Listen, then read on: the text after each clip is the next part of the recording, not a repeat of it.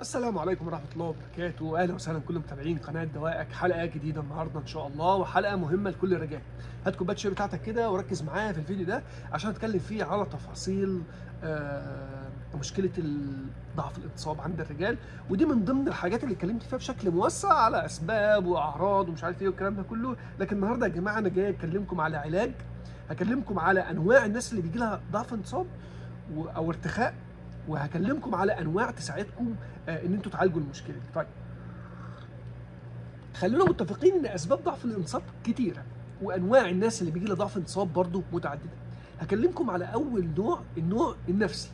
في أشخاص يا جماعة الانصاب عندها كويس ما فيهوش مشاكل خالص. يعني مش بيعاني من مشكله عضوية بتؤدي إلى مشكلة ضعف الانتصاب.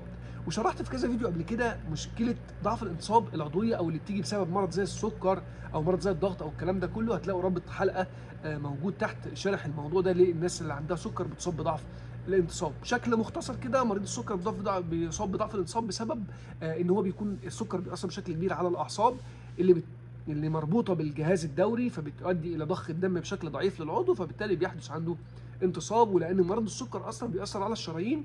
وإحنا عارفين إن العضو الذكري فيه آه، آه، شريان أو وريد كده بيدخلوا الدم فبيسبب الانتصاب. يعني مش عايز أتكلم في التفصيلة دي على قد ما هتكلم في حتة ضعف الانتصاب النفسي. آه، العريس الجديد أكتر شخص بيصاب بموضوع ضعف الانتصاب النفسي. الناس اللي بيكون عندها ضغوطات بتصاب بضعف الانتصاب النفسي. الناس اللي بتعاني من القلق والتوتر والخوف بتصاب بضعف الانتصاب النفسي. الناس اللي عندها مشكلة الاكتئاب والأمراض النفسية بتصاب بضعف الانتصاب النفسي طيب نقدر نتغلب على المشكلة دي؟ آه نقدر نتغلب على المشكلة دي. أول حاجة بالعلاج السلوكي المعرفي إن إحنا نبدأ ناخد خطوات مهمة بإن الموضوع ده عندنا آه، نفسيا مش عضويا. الناس مشكلة الناس اللي عندها ضعف الانتصاب النفسي بتكون فاكرة إن العضو الذكري فيه مشكلة أو الجهاز التناسلي أو الجهاز البولي فيه مشكلة. ده نوع من آه، الناس. طيب الجزء الثاني من من من ضعف الانتصاب أو النوع الثاني من ضعف الانتصاب الناس اللي بتعاني من مشكلة تضخم غدة البروستات.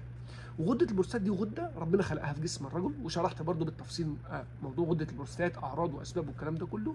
لما بيحصل فيها احتقان أو مشكلة يا جماعة ده بيؤدي إلى آه، ضعف الانتصاب وتأخير القذف. يبقى عندنا النوع الثاني الناس اللي عندهم آه، مشكلة البروستات. طب يا دكتور أعرف إزاي أنا عندي مشكلة البروستات؟ وأعرف إزاي إن أنا عندي مشكلة ضعف الانتصاب النفسي؟ هقول لهم لكن خليني أخلص لكم الأنواع دي. طيب النوع الثالث الناس اللي عندها مشكلة ضعف الانتصاب بسبب مرض زي السكر أو الضغط أو القلب أو الكلام ده كله. طيب النوع اللي بعد كده الناس عندها مشكلة ضعف الانتصاب بسبب الأدوية واتكلمت برضو في فيديو قبل كده عن الموضوع ده. يعني فيديو مهم اسيبه لكم في ال description box تحت. طب يبقى ده كذا نوع لمشكلة ضعف الانتصاب خلينا ناخد بقى النوع الأولاني ضعف الانتصاب النفسي.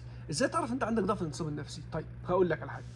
الشخص اللي بيكون عنده ضعف الانتصاب النفسي بيحدث عنده انتصاب صباحي ما فيش مشاكل خالص دي حاجة. الحاجة الثانية بيثار ويستثار بسرعة وكمان بيحدث عنده انتصاب. لكن بيجي عند آه، إن هو يمارس العلاقة الحميمية طبعا في الإطار السليم اللي هو الزواج آه، بيلاقي نفسه ارتخاء مفيش ضعف مفيش انتصاب. ويجي يشتكي لي يا دكتور أنا باجي أنا أنا قبل العلاقة ببقى كويس وأحس إن أنا عندي رغبة وشهوة ومش عارف إيه لكن عند الموضوع ده ببقى مش م- مش م- مش مظبوط الموضوع ده. طيب إيه علاج القصة دي؟ أساس الموضوع ده كله القلق. إن أنت قلقان. إن أنت إيه؟ قلقان. طيب هل نقدر نعالج القلق بأدوية نفسية؟ لا. إحنا كصيادلة أو أطباء أو الكلام ده كله ما تقدرش إن أنت تجزم إن المشكلة دي تقدر تعالجها بموضوع ال آه ال- الأدوية النفسية لأن هو مش مرض عضوي 100% لأن الناس كلها بتعاني من مشكلة القلق. طب نقدر ناخد إيه؟ نقدر ناخد اشواجندا الاشواجندا دي يا جماعة عبارة عن نبتة بتظبط مود الإنسان وبتخليه يتكيف على موضوع القلق والاسترس والضغوطات فلما تاخدها بشكل مستمر هتلاقي إنك تقدر تتخلص من موضوع القلق فبالتالي موضوع آه الانتصاب اللي عندك بسبب القلق ده ضعف الانتصاب بسبب القلق هيروح تمام. طيب إيه أفضل نوع ناخده؟ هو الاشواجندا أقول على النوع الكويس اللي هو الاشواجندا ده. الاشواجندا ده من شركة جمجوم طبعا شركة عالمية ومتوفرة في كل البلاد. الشرق الأوسط موجود كله الخليج العربي مصر. أشواج الأشواج أهي أشواق تمام.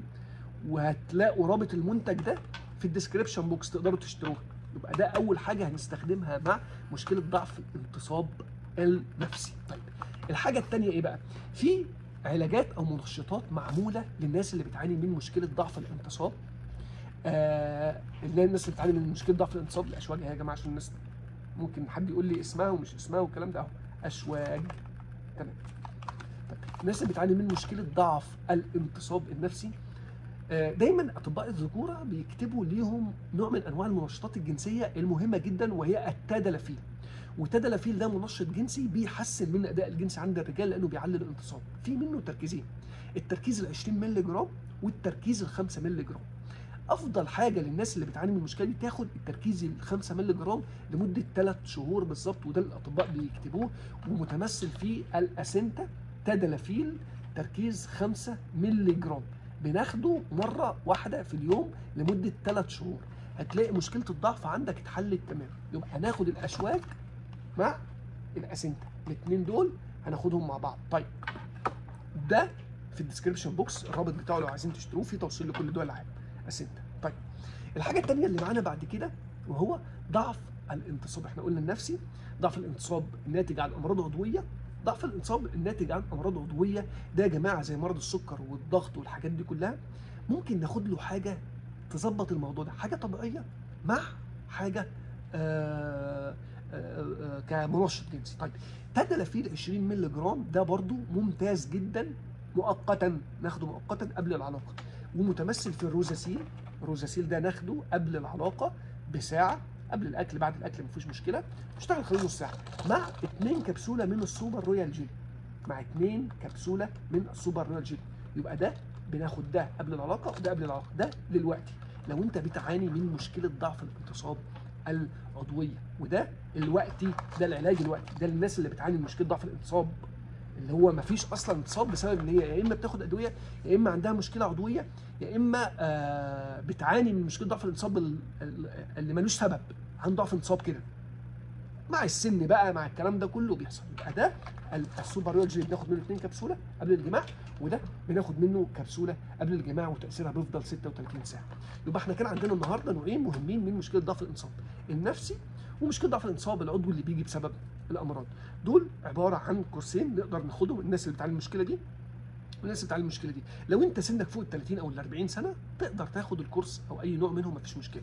لو عمرك فوق ال 50 وعندك مشاكل والكلام ده يبقى يفضل انت تاخد ال super royal jelly مع الروزاسيل الوقتي طيب لو انت حابب تاخد ال super royal jelly لو انت عايز تنشيط وقوة ال super royal jelly مع الاسنتا برضو تقدر ده يومي بتاخدوه كل يوم. ده بيحافظ على صحة البروستاتا يا جماعة عشان تكونوا عارفين. بيقلل من سرطان الاصابه بسرطان البروستاتا وبيقلل من إصابة باحتقان البروستاتا وبيحسن من موضوع الانتصاب برضو نقدر ناخد الاثنين دول مع بعض. انت الاختيار ليك هتلاقي رابط المنتجات دي كلها في ال description box تحت. تقدر تطلبهم بكل سهولة وتوصيل لكل دول العالم. لو انت عندك سؤال أو استفسار عن مشكلة ضعف الانتصاب سواء بسبب الإصابة بالبروستاتا أو بسبب الاصابه بمرض عضوي أو حتى آه، اللي هي الغير مبرر أو بسبب نفسي اكتب لي في الكومنتات وأنا هجاوبك. آه، دي كانت حلقة بسيطة أتمنى تشتركوا في القناة و like للفيديو ده ولو الفيديو عجبك ابعته لأصحابك لأنه لازم يستفيدوا من الموضوع ده كان معاكم صيدلي إسلام فراج صيدلي بمستشفيات جامعة عين شمس.